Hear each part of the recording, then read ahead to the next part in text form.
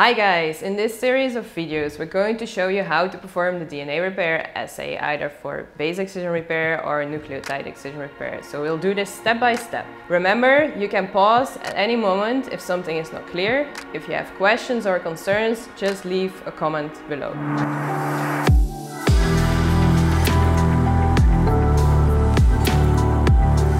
Okay guys, so first we will show you the overview of the whole assay, existing out of six steps.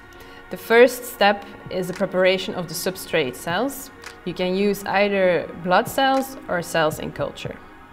In parallel, you have to prepare protein extracts, either from cells in culture, blood, or even tissues.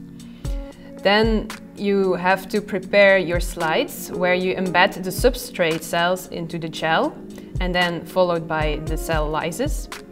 Step four, the incubation reaction. There you incubate your extracts with the substrate cells. Take care to also take into account slides for your assay controls. So these are usually three slides as assay controls and then a slide per sample and you add on per sample. There's an optional extra step where you can add nucleotides and then you can measure resynthesis and ligation.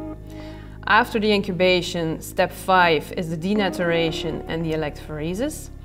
And finally, step six is the scoring and visualization of the comets.